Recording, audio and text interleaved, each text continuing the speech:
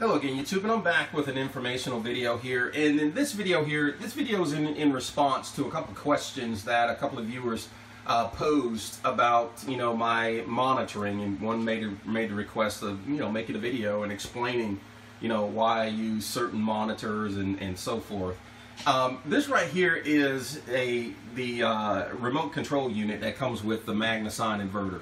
They they don't come together. You have to buy this separately. And it's not cheap but it is definitely necessary. I found it to be necessary uh, if you actually own one of these units. Why? Because this particular unit gives you the ability, it gives you some information about the battery voltage and the amps and stuff like that, but it's not really accurate. But, you know, what this, main, this unit is mainly used for is the ability, it gives you the ability to access the advanced features that the MagnaSine inverter gives you. Like, it, you know, it gives you the ability to set when you know when you want it to connect. Like for instance I can connect with voltage uh, based on the battery voltage or the time of day. Um, or I can just simply say don't connect to the grid at all uh, if I'm in a situation or a place where there is no uh, grid power. Now there was a question as to you know when you would set you know like for instance it, the connect based on time of day. This particular feature is in for those folks that are you know generally in a in places where their utility has is based on I mean their rates are based on time of usage or you know time of day. Uh, like for instance, if your your utility says, okay, during the time during peak times, like for instance, uh, during the day or during the night, whichever you know wherever you are, they will charge you a higher rate during a you know from from a a specific time period. Let's say from eight in the morning till four in the afternoon, or from eight at night till about you know uh, you know five or six in the morning. Then they will charge you a higher rate. So you can actually capitalize on you know on the system by saying okay well during those times I'm going to use my battery power and not be charged that that higher rate so, uh, or essentially you can say, well, I will charge my batteries during the time of the lowest rate and use that power during the time of the highest rate. So this is what this is this is what this setting is generally used for. Okay, that's time of day.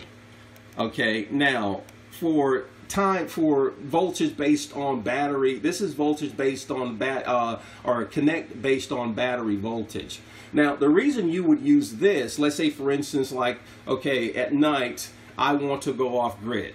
So I say, okay, I, am going to go off grid at let's say nine o'clock at night or something like that, and um, this is telling the system, hey, I want you to connect or disconnect from the, the, the grid and reconnect to the grid when my battery voltage reaches the, the low voltage cutoff. And so that way I don't have to get up in the middle of the night or I don't have to get up in the morning or whatever and you know uh, and wonder oh you know say well the battery or the inverter just clicked off or something like that. I don't have to worry about it. So what happens is when that when it hits that low battery voltage it says no problem. It just switches over to grid and starts charging the battery. Also, during the day, let's say my charge controller, you know, this TriMet or TriStar MPPT 600 volt charge controller from Morningstar, um, you know, during the day, this will also allow my charge controller to um, essentially work in conjunction with my inverter to to not only charge the batteries but also supply power to the house. So the thing is, I use this setting here most most often. Okay, but you see, but the key thing here is this particular remote gives me the ability to make that choice, right? Now, if you don't have that remote, if you don't have this remote, then you got an inverter. Yes, it will work, but you won't you won't have all the capability. You won't be able to maximize on the cap the full capabilities of the of your system. I mean, it's almost like you're only using maybe 25% of what you're actually capable of doing with this particular system. Now, now also, now I, I don't use this for reading battery voltage or amperage because as you see right here, it says 28, it, my, it says my uh, battery voltage is 28.4 volts. However, the tri the Bogart trimetric says my battery voltage is 28.2. So with this, this is more accurate. This is a true RMS reading.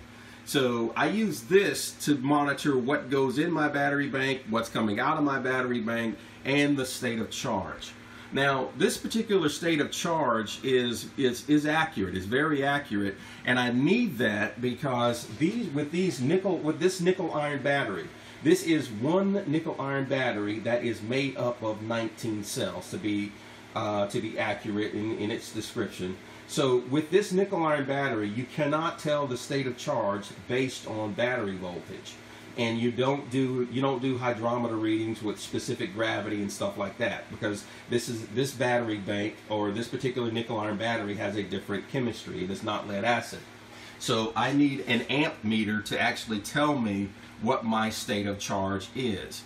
And so this Bogart trimetric is what I use for that.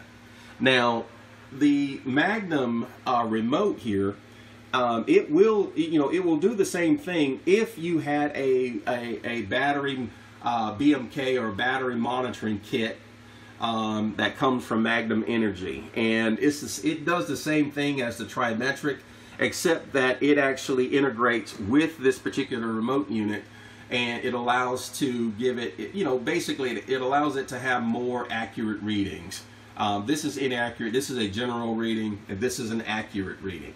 So these two meters are are they're essentially you know working in conjunction with each other. They are performing two different things. This is given to me to this is for me to control the uh, the Magnum inverter. This is for me to actually read the battery information um, coming from my nickel iron cells. Okay, now I have this particular unit here. This is a meter unit. And this one here is just to give me information, specific information about what's going on with the particular, this my charge controller.